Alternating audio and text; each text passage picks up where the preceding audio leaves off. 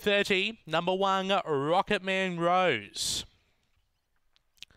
Almost right to run. There's the light. Set to race. Race number 10 out of Gawler away. Rocketman Rose began on terms. There's Speed from Universal Value who finds the front by two over Rocketman Rose who has clear room. Then we go back to Simple Shira, Kenya Angel, Serving Soldier and Dozing up to the turn. Universal Value got clear by three. Rocketman Rose winding home with Simple Shira, but it's Universal Value doing it well and Universal Value gets the prize over Rocketman Rose. Third will be Simple Shira. Fourth, a photo between Kenya Angel and Dozing and Serving Soldier, the last one in. Time 22.56.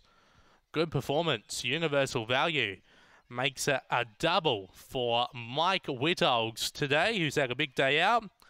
Beaks home V1, Rocketman Rose for Rosa Panganjotu.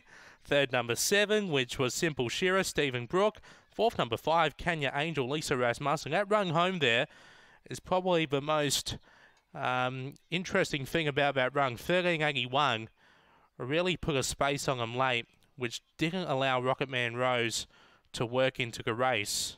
1381, that's quicker than a previous run home, which was set by Taylor Tobes, who ran 22.37. So a very good finishing performance there by Universal Value, who hit the front and was very hard to run down. 22.56, 13.81, 21.75 after race 10 here at Gawler.